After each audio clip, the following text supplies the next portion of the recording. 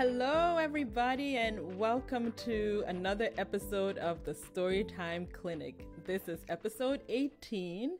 It's time for another guest episode, and let me tell you guys, I am so excited to welcome this phenomenal woman. And our guest today is Hamchetou Maiga-Ba. Born and raised in Mali, Hamchetou has had the privilege of studying and playing basketball professionally in the US in Mali and internationally. She's a former WNBA player. She's a former Olympian, um, a former player for the Mali national team. Hamchetou also knows the value of education, and while she was doing all this, she simultaneously finished her MBA in global management. Now she is giving back to her home country, Mali, on both fronts education and sports through her personal organization, the Hamchetou Maiga-Ba Foundation, as well as the Special Olympics Mali, which is what we're going to be talking about today. Hamchetou, I'm so happy to welcome you to the show today. How are you? Hello, Fawn. How are you? Thank you for I'm having me. wonderful. It's a pleasure to be here. Thank you. Absolutely. Thank you so much. So, as we all know, the Tokyo 2021 Olympics is going on right now. And as a person who was actually there and made it to the Olympics, what does it feel like for you at this moment to be watching and to, um, you know, do you still follow the Olympics? Do you watch closely at this time? How does this feel to you? It's it's a, a feeling of joy. Definitely, I'm excited. We all look forward to the Olympics, but joy, especially for all the athletes that get to go there and uh, work so hard for this moment. So pride for them and joy watching them uh, accomplish their dreams. Something that they've been, like I said, working for so long to try to accomplish. Mm-hmm. Mm-hmm. Yeah. And what was that experience like for you? What year did you go in? We we went in 2008, and um, I would say the the the, uh, the prelude to that is the the best for me because in Africa, in order for the African country to go, you have to win the African Championship. So Mhm. that was something that we I went many years uh, back to play with uh, Mali national team. And 2007, we were finally able to accomplish that. And I would say the icing in the cake was it gave us the opportunity to qualify for the Olympics. So Yes, yes. was, uh, That's that's a very big title to Yeah, have. yeah, it was a pride moment, you know, very proud moment, and Yes. uh, thankful to have been part of uh, a group that was able uh, that was able to accomplish that.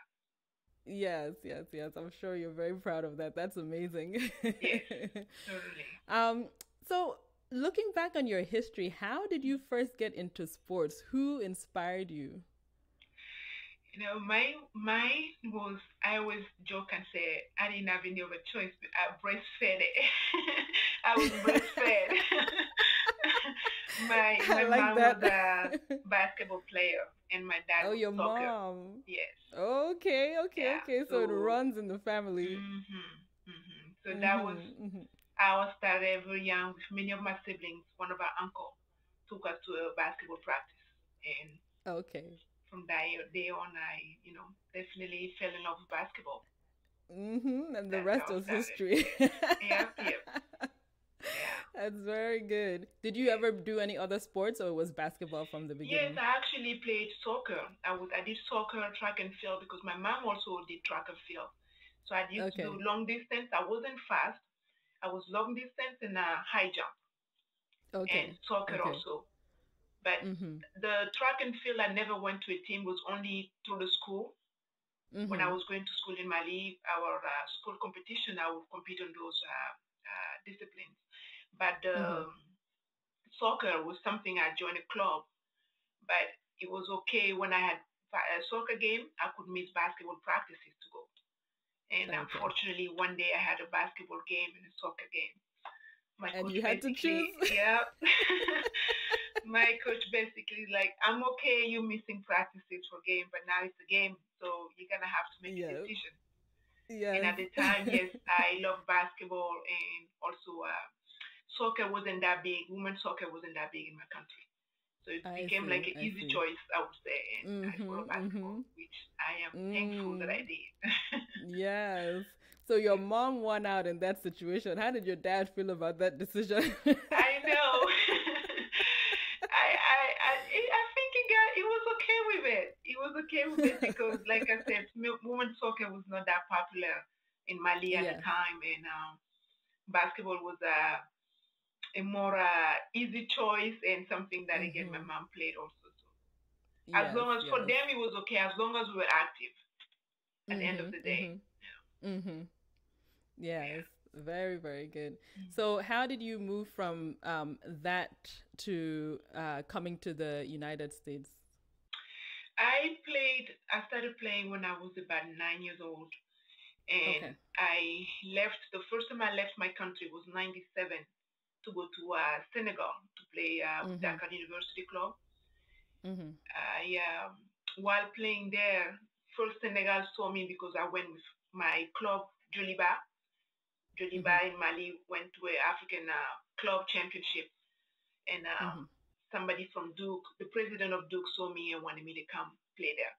So I went there for uh, about seven months played there, was going to school, and while doing that, joined the national team in December to go play for mm-hmm. a, a, the African Championship for Mali. While mm-hmm. playing at that competitions, one of the coaches from uh, Old Dominion was there, Coach Scott, Alisa Scott. She was there recruiting, and she offered me a scholarship. Mm-hmm. Yeah. Mm-hmm. yeah. That's wow. how my path, wow. my life path was uh, definitely changed because of that meeting, her offering me the scholarship, gave me the opportunity to come to US and uh, yes, pursue yes. my uh, studies. Truly giving me opportunity to be a, a true student athlete, which yes, unfortunately in my country is uh, a challenge. Yes, yes. So growing up, um, did you ever imagine that you would have been able to um, go this far with sports alone? I I would be lying if I said so. I would be lying as to say, as I played, the more, the more I played, I could see the possibilities. But initially, even my studies were kind of uh, defined by that because when I came to the to the states, I thought I was gonna do my four years, study and go back. Because mm-hmm. of that, I needed to take a a field where I feel like once I go back, I can be self-dependent, and which mm-hmm. was one of the reasons I chose information technology. Mm-hmm. mm-hmm. So yeah, initially I wouldn't say that I thought that I would have the same path. I had a work ethic and the love for basketball yes. for sure, but yes, I yes. never imagined that uh, I could make it as far as I did. Yes, yes, yes. Yeah.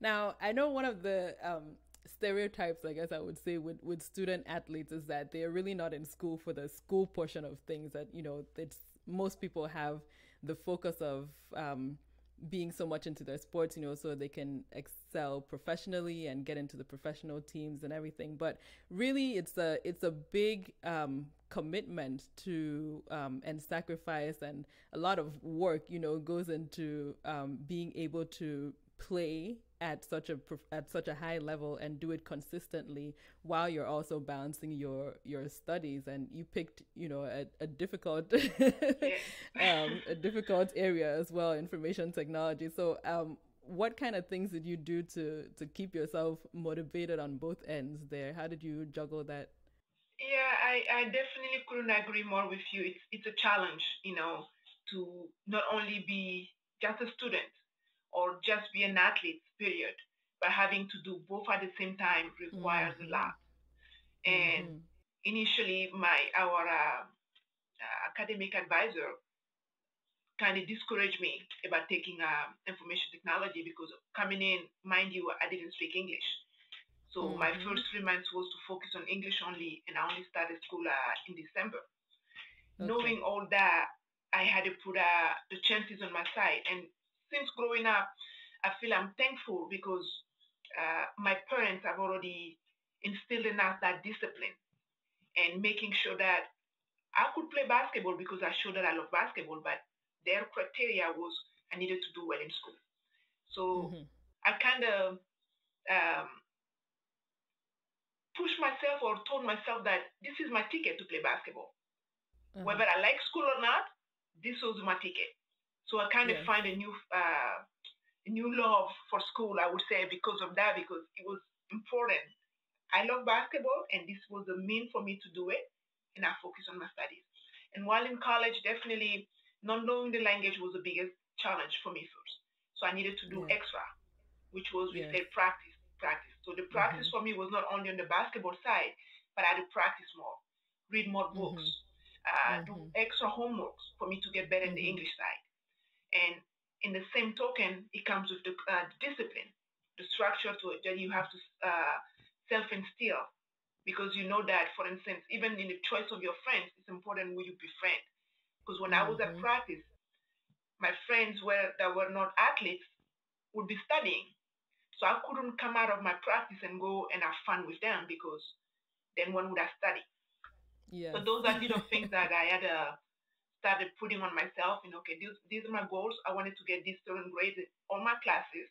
And in order for me to do that, what is I needed to do? do I needed to do extra homework in here, extra um, um, uh, how you call it, uh, time reading, whatever it was, I needed to have a discipline in place and uh, uh, the resilience to follow through, basically. Yes, yes, yes. Yeah, that's that's very very um it's a it's a big juggling act, but I I think that um in doing that early as well, you know, it, it gives you the kind of um skills and mentality that you're going to kind of use throughout your your life you know so yes. that was a good a good yeah. start for you mm-hmm. that's true so we, how we always you... mention that that uh, yeah. what we learn as student athletes those skills are transferable skills those are skills mm-hmm. that whether it's in basketball but in our overt life or as you call it we can still apply those uh, those skills yes yes yeah now, how did you end up getting involved with the Special Olympics? That also is my coach in um, in college, uh, Coach Larry.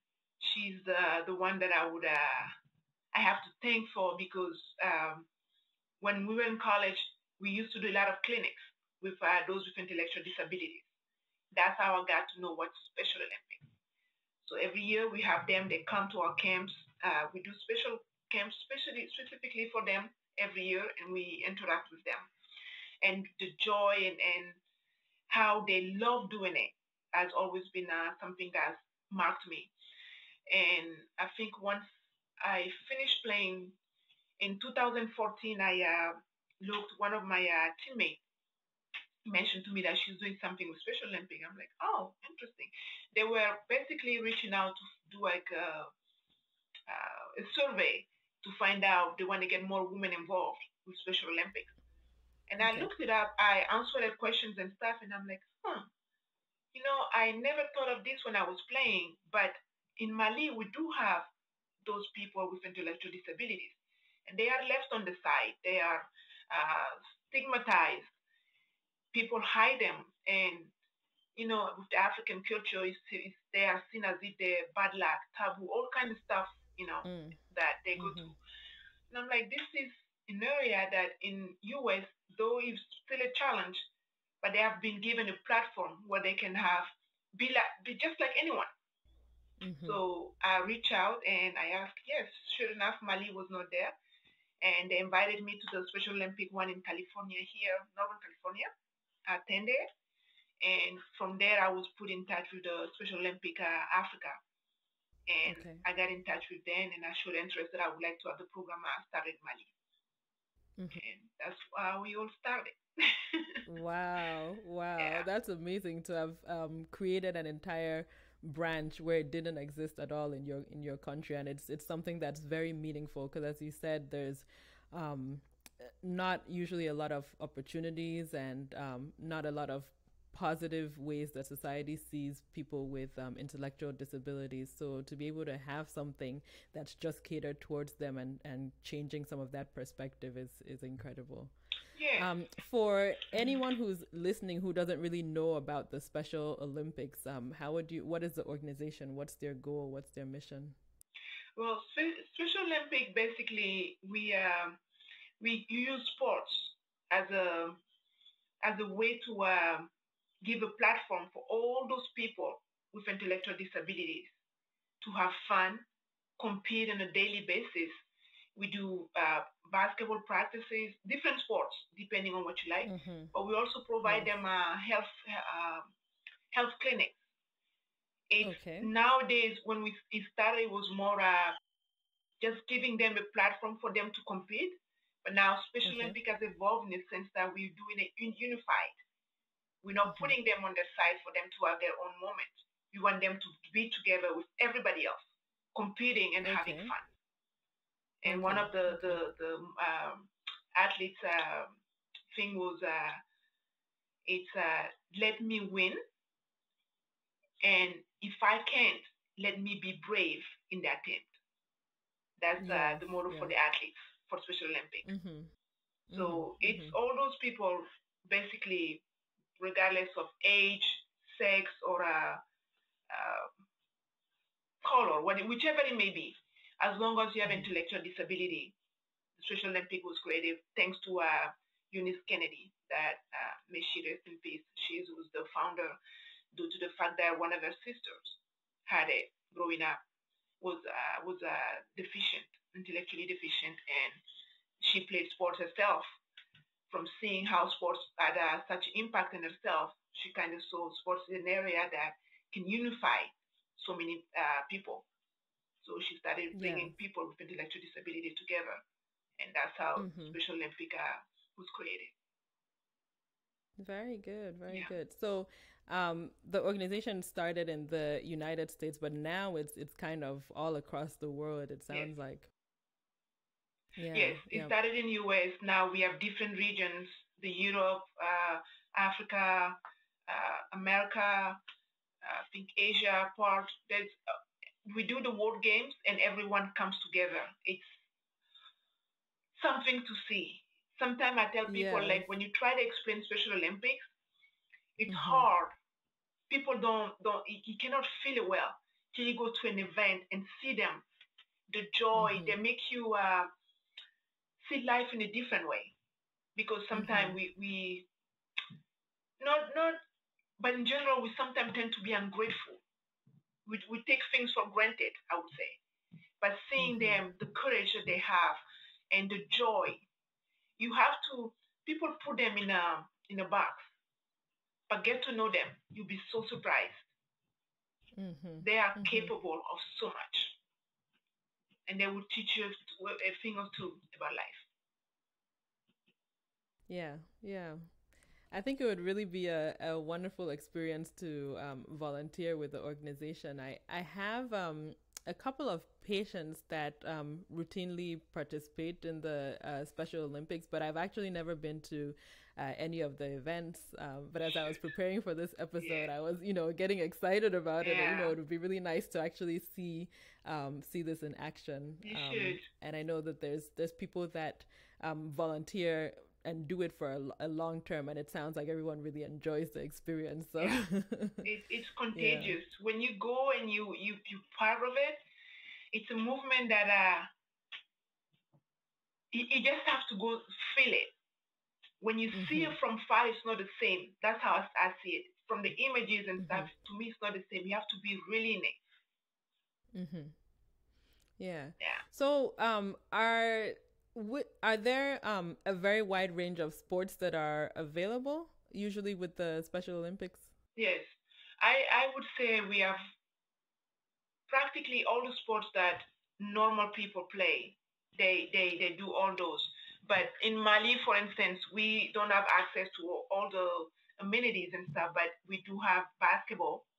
We started first with uh, soccer and Mhm. track and field, which are easy. As Okay. you know, in Africa, you just put the, Yes. the cones and you can play soccer. Yeah. so that was the easy one. And running was also came easy to us, so we did run, running. And of course, having a basketball background, Special Olympic cannot be Mhm. in Mali and not, not not have basketball. So yes. we we added basketball, and um, we at times we did uh, swimming, but we don't have uh, a lot of uh, swimming pool in Mali in that sense uh, that we could go because if we have to go to some pla- places, it will be very costly for us, and our Mhm. program doesn't have as much means to afford that. So we have Okay. about a couple of athletes that do very well in swimming, and uh, they have Mhm. actually joined the, the local swimming teams in that. Okay. Okay. Yeah. So, who are the people that you find to help with the, um, I guess, training of the athletes and with um, running some of the events? Um,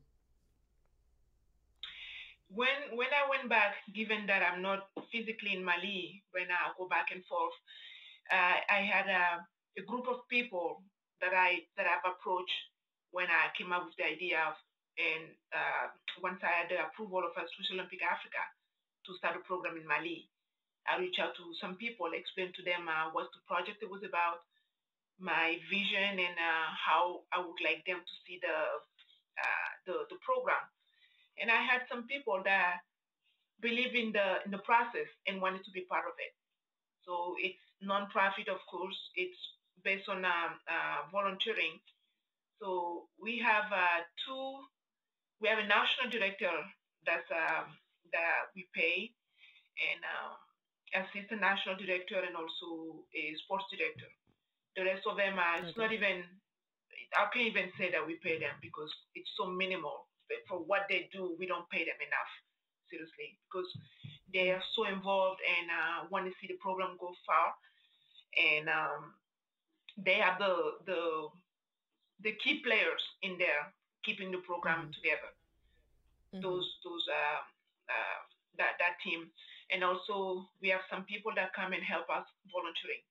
But we do need more okay. volunteer. In Africa, as you may be aware, volunteering is not a concept that's well into our culture as much. Mm. So it's a challenge mm-hmm. to get uh, people to come and volunteer. Volunteer. Mm-hmm. So, if you had to say what uh, some of the main needs would be for the organization for your branch in, in Mali, what are some of the things that you guys are always looking for? Well, the, the biggest challenge is uh, we still have a way to go in um, uh, getting uh, people more sensibilized, sensibility, do more sensibilization mm-hmm. because, uh, again, it's still taboo. They hide them. So that's something, that campaign area is something that we need more help getting more uh, more players out. We started with the goal of getting 300 per year We've been going now seven years. We have close to 3,000 athletes. We are wow. above our target, but still the program is not where we would like to be. In a sense that our goal was to have it in all the region of Mali. We don't, unfortunately. We are mm more, more. Um, we are steady in Bamako in the capital, and we have three regions that we've been able to uh, to be in, or we have four. But the other ones, due to the insecurity in Mali, also it doesn't help. But we would like to get the means, of course, whether it's financially or uh, uh, human capital, human, uh, uh to get uh, the help on that and be more present in Mali and touch more athletes. Mm-hmm. Mm-hmm. Mm-hmm. Yeah, so it sounds like there's there's still some work to be done, but yes. definitely it, it starts with um, changing people's perspectives, letting them know that there there is um, there are opportunities for people with intellectual disabilities, and there's ways that we can help um, these people with intellectual disabilities um, go farther and accomplish more. Yes, yeah. totally, totally. Mm-hmm, mm-hmm. So now I know that you mentioned that um, there is the Special Olympics World Games that everyone mm-hmm. kind of comes together for are there how often do those happen because i actually didn't know that it was um, on that level i thought that most of it happens with the special olympics branches putting on their own events locally yes they they they do games locally we have for okay. instance our national uh, championship national games where we okay. bring uh, all the athletes from different regions and they compete and it's based okay. on that that we do select the athletes that will participate in the world games our mm-hmm. first World Game was uh, in the in LA in 1915. I mean, uh, 2015. Uh, okay. okay. 2015 in LA. That was our very first game. We brought a track and field only. Uh, okay. Two boys and uh, two, two, two, two ladies. So mm-hmm. we had a track and field. And the next game was in Dubai. I believe that was 2019. Oh, wow. Yes. Mm-hmm. And that mm-hmm. was that was uh, huge we were able to bring a basketball team, unified basketball and track and field. Uh-huh. And also after that, they started a, the African region doesn't have a, I believe all the other regions have their own games. Africa mm-hmm. just started one this year or 20, either 2019 or 2020. Yeah, beginning January, right before COVID exploded, 2020 January. Yeah. It was oh, okay. the Pan African Games that were mm-hmm. held in um, in Egypt. Mm-hmm. So, and the games, they basically every four years, and it's based on quota. They uh, allocate number of athletes that you can have. I guess based on your okay. program uh, strength, you can bring more uh, discipline. You kind of, uh, how you say, they put out these are the disciplines that are going to be there, and you kind mm-hmm. of said, okay, I'm going to be there in this discipline, and now you have to mm-hmm. do fundraising to be able to bring in your athletes. So okay. it's very costly because not only you have to bring your athletes, but we go with a quota of uh, for every about four to five athletes, you have to have one uh, one coach or one uh, helper. So that okay. being your uh, team, the number of people that you have to travel with, it makes mm-hmm. it more. Mm-hmm. So those are all things that you have to take into consideration the number of people that yes. you bring along. Yes, I see. I yeah. see. Okay. Okay. And now with your uh, branch, because I think when I was looking back on some of this, I saw that uh, those who participate in the Special Olympics are not just children um, and adolescents, but this can be adults anywhere yeah. up to 60, 70 yeah. years. Is that how your branch runs as well? You have yeah. it for across all ages? Yeah, that's what I was saying. Wow. That's the, the beauty about Special Olympic. There's no age limit. We work mm-hmm. with eight, as, as early as eight years old. We have the young mm-hmm. athletes so we have okay. things just for them. And yes. we have also grown ups that, that come in. As long as they're willing to, to play and do something, we, we bring them mm-hmm. in. It's open mm-hmm. to every all of them. Any of them that want to come in. Some of them we have some that went from uh, playing for many years and now they're coaching. That's amazing. Yes, yeah. yes. Yeah. yes. it's very good. Full yeah. circle. yes, yes, indeed. Yeah. So, when it comes to sensitizing the uh, society or community, what are some of the um, what are some of the ways that you guys have approached this? Um, do you have any involvement with schools or, or things like that? How are you getting the word out about about Special Olympics in Mali?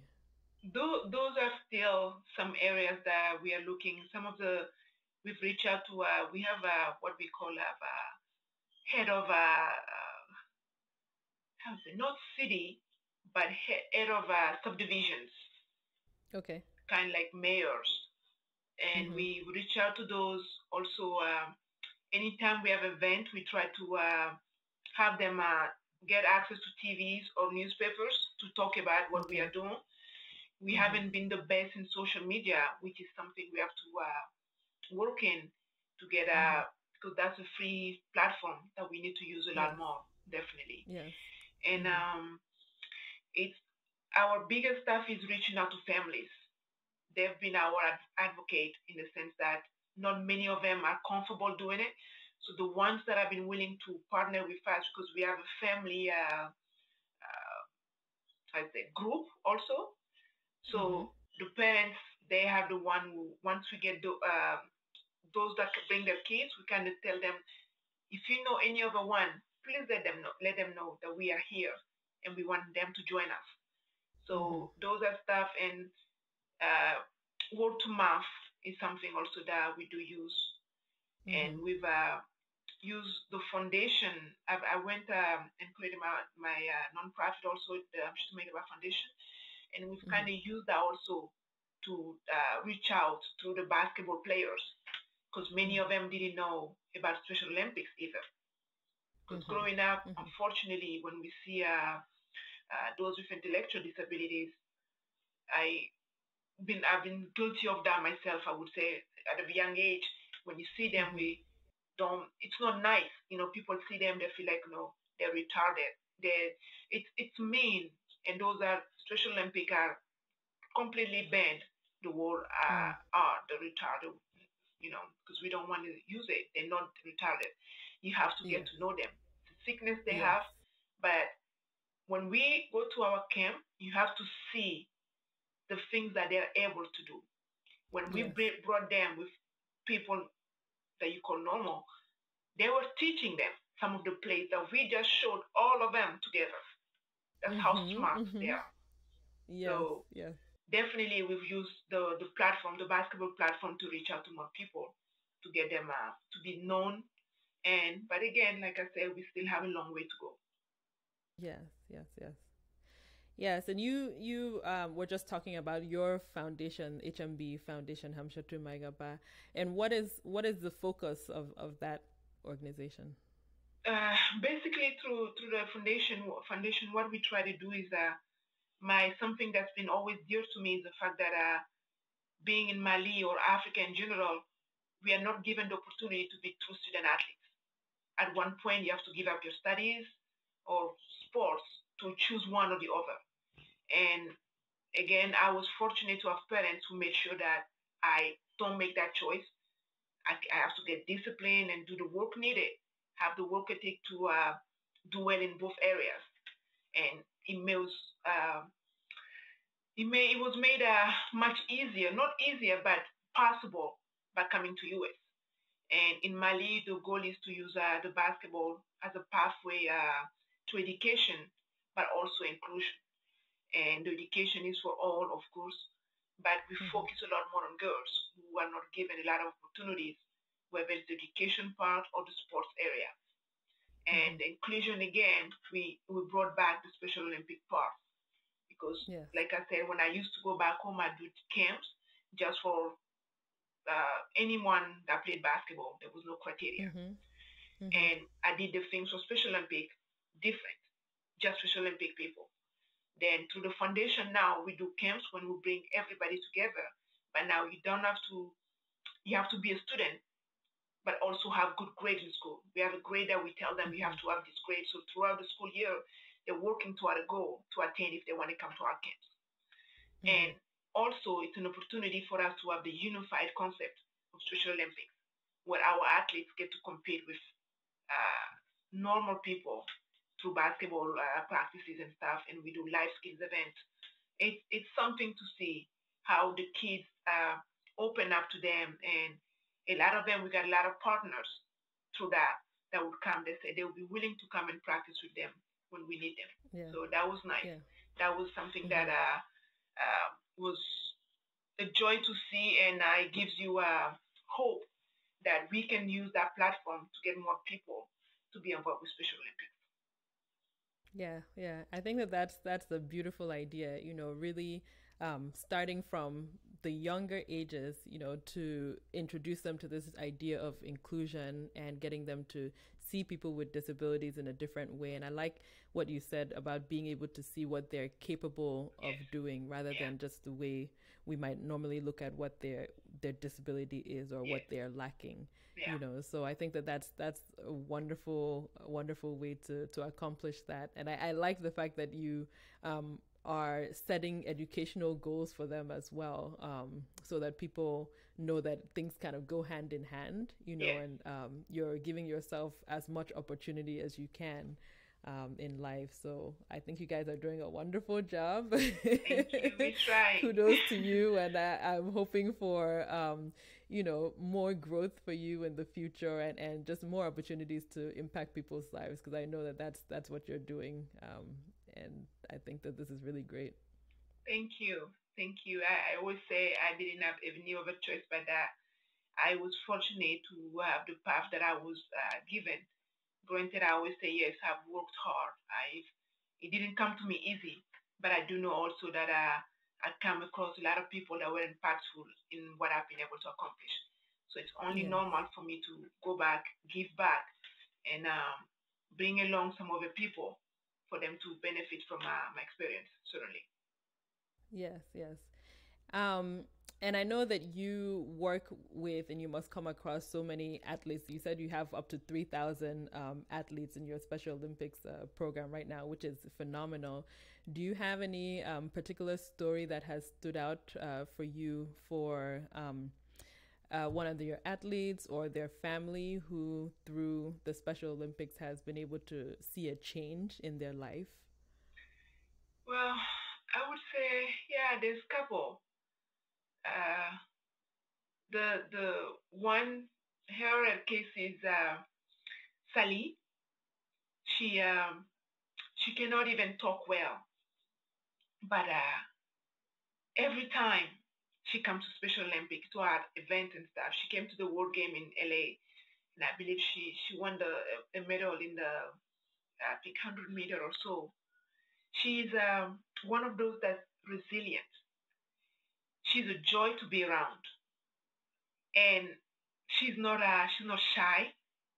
So when I when I see her, the confidence that she she shows, it's uh, I can't I can't describe it, but every time I, I think of her and her and I, it's like from the beginning the program started, we just it, it's you know it's like it was meant to be.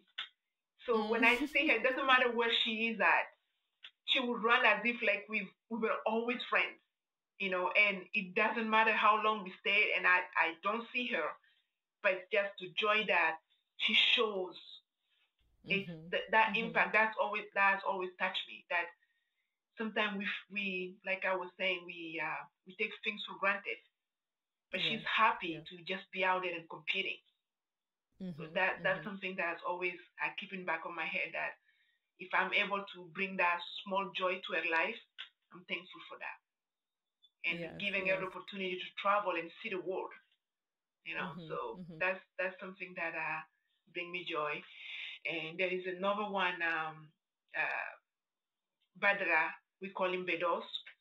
He's also someone who's uh, always believed in himself. He's resilient, works hard, and went through all the Special Olympic stuff. Is one of uh, the one that now is uh, works does kinesiotherapy, mm-hmm. and also uh, is a coach for us. So those mm. are stories that when I when I think yes. back and I look, I know it's not just us being there, but it's their own resilience, want wanted to be better, mm-hmm. and mm-hmm. keeping keep pushing despite all the uh, challenges that they, they have faced. Yeah. So yeah. those those are very motivational when I think of them. Yeah. Yeah. Yeah. Yeah, that's that's a beautiful story to to yeah. know that what you're you're doing is not only um, affecting people for a short period of time, but it's having a, a, ripple impact as well. The people that you were training and giving opportunities are now being able to train and give opportunities to other people as well and inspire other people. So. Yeah. And he's getting ready to get married in August. Oh. Yeah, it's exciting. That's yeah. beautiful. yes, yes, it's nice. Yes. Yep, yep. Very good. Yeah. Very good. Mm-hmm. Well, Hamchetou, thank you so, so, so much for um, being on the show, for sharing all your experiences with us, for um, inspiring us here with everything that you have been doing. Um, I wish you more and more um, success and um, for people to come across this episode and um, and hopefully join forces with you and the things that you're doing and be able to provide um, some assistance as well. I wanted to give you an opportunity to um, just mention your the website of your foundation and um, if the Special Olympics in Mali, if they have a, a, a website as well, if you could mention that for people who are interested. Okay. Thank you, Fawn. Thank you very much. It's a pleasure to be here, like I mentioned, and uh, thank you for all that you are doing and sharing also uh, uh, your experience because as you go through this pod- podcast and stuff, you get to uh, educate people. So thank you for taking the time out to do so. And um, yes, Special Olympic Mali um, as a, um, it's still under, a, we have a Facebook page, but also through the foundation website, website uh, we have a link in there where you can get more information. And the link to the foundation is uh, hmbfoundation.org okay. hmbfoundation.org. Okay. Or you can That's just put the Hamchetou Maiga-Ba Foundation, but Hamchetou is hard to write.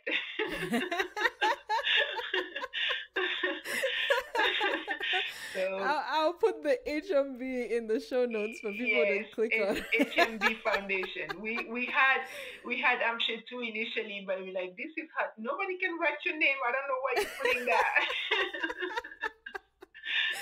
yes, yes. yeah, so yeah. Yes, yes. Well, thank you so much again. I've really, really enjoyed having you uh, on here, and um, yes, we hope to hear more um, from you guys about about what you accomplish in the years to come. Thank you very much. It was my pleasure. All right. Take care. You too.